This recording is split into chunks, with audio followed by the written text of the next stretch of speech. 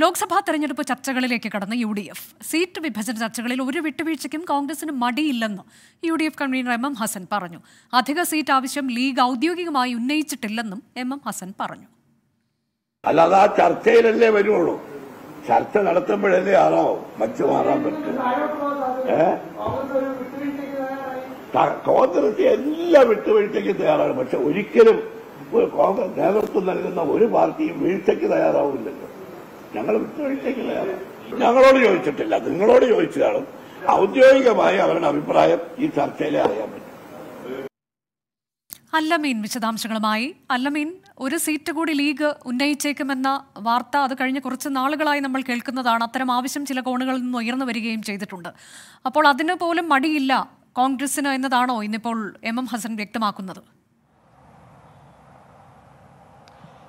U D F കൺവീനറോട് സംബന്ധിച്ച് വ്യക്തമായി തന്നെയാണ് മാധ്യമപ്രവർത്തകർ ചോദിച്ചത്. ഇന്നത്തെ ചർച്ചയിൽ മുസ്ലിം ലീഗ് മൂന്നാമത്തെ സീറ്റ് എന്ന ആവശ്യം ഉന്നയിച്ചോ എന്ന ചോദ്യത്തോട് അത്തരത്തിൽ ഒരു ആവശ്യവും ലീഗ് ഔദ്യോഗികമായി മുന്നണി യോഗത്തിൽ ആവശ്യപ്പെട്ടിട്ടില്ല എന്നാണ് എം എം ഹസൻ പറയുന്നത്. മാധ്യമങ്ങളോട് പറഞ്ഞിട്ടുണ്ടാകും പക്ഷേ മുന്നണി നേതൃത്വത്തോട് ഔദ്യോഗികമായും ആവശ്യപ്പെട്ടിട്ടില്ല. എന്ന് മാത്രമല്ല സീറ്റ് വിഭജന ചർച്ചകൾ നടക്കുമ്പോൾ ഘടകകക്ഷികളുമായി ഏത് വിട്ടുവീഴ്ചയ്ക്കും കോൺഗ്രസ് തയ്യാറാണ് ഒരു മടിയുമില്ല. പക്ഷേ വീഴ്ചകൾക്ക് പാർട്ടി തയ്യാറല്ല എന്നുകൂടി അദ്ദേഹം അടിവരയിട്ട് പറയുകയും ചെയ്തിട്ടുണ്ട്.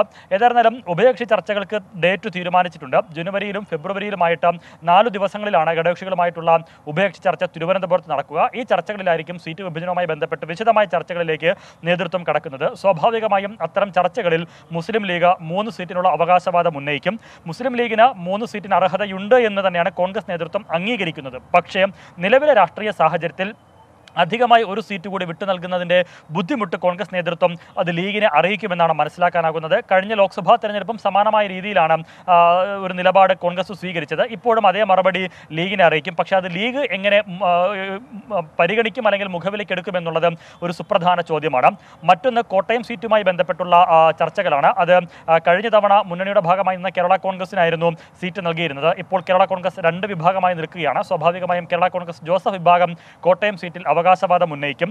കേരള കോൺഗ്രസ് ജോസഫ് വിഭാഗവും അതുപോലെ തന്നെ മാണി വിഭാഗവും രണ്ട് കൂട്ടർ ജോസ് കെ മാണി വിഭാഗവും അവിടെ മത്സരിക്കുമ്പോൾ ഉണ്ടാകുന്നൊരു പ്രശ്നം കോൺഗ്രസിന് മുന്നിൽ നിൽക്കുന്നുണ്ട്. അതുകൊണ്ട് വിജയ സാധ്യത കണക്കിലെടുത്ത് ഒരുപക്ഷെ ആ സീറ്റ് കോൺഗ്രസ് തന്നെ ഏറ്റെടുത്തേക്കാം. പകരം കേരള കോൺഗ്രസ് ജോസഫ് വിഭാഗത്തിന് മറ്റൊരു സീറ്റ് നൽകാനുള്ള സാധ്യതയും തള്ളിക്കളയാനാകില്ല. പത്തനംതിട്ട അങ്ങനെ വെച്ചു മാറാനുള്ള സാധ്യതയുണ്ട് എന്നുള്ള ചില സൂചനകൾ ലഭിച്ചിരുന്നു. ഏതായിരുന്നാലും ജനുവരിയിലും ഫെബ്രുവരിയിലുമായി നടക്കുന്ന ഉഭയകക്ഷി ചർച്ചകളിലായിരിക്കും ഇതുമായി ബന്ധപ്പെട്ട വിശദമായ ചർച്ചകളിലും തീരുമാനങ്ങളിലും ധാരണകളിലേക്കും മുന്നണി നേതൃത്വവും കോൺഗ്രസും എത്തുക. അതിനു മുൻപ് തന്നെ പ്രാദേശിക തലങ്ങളിൽ ഉൾപ്പെടെ മണ്ഡലാടിസ്ഥാനത്തിലും അസംബ്ലി തലത്തിലും ബൂത്ത് തലങ്ങളിലും ഉൾപ്പെടെ തന്നെ തെരഞ്ഞെടുപ്പ് കമ്മിറ്റികൾ രൂപീകരിക്കാനും ഡേറ്റ് തീരുമാനിച്ചിട്ടുണ്ട്. അതെല്ലാം നടപടിക്രമങ്ങളുമായി മുന്നോട്ട് പോകും. തെരഞ്ഞെടുപ്പിനെ അഭിമുഖീകരിക്കാൻ യു ഡി എഫ് എല്ലാ തരത്തിലും തയ്യാറെടുക്കുന്നു എന്നുള്ളതാണ് ഇന്ന് മുന്നണി യോഗത്തിന് ശേഷം മുന്നേ കൺവീനർ വിശദീകരിച്ചത്. തെരഞ്ഞെടുപ്പ് ഒരുക്കങ്ങളുമായി ബന്ധപ്പെട്ട വിശദമായ ചർച്ചകളും ഇന്നത്തെ യു ഡി എഫ് ഏകോപന സമിതി യോഗത്തിൽ ഉണ്ടായി. അനുജ.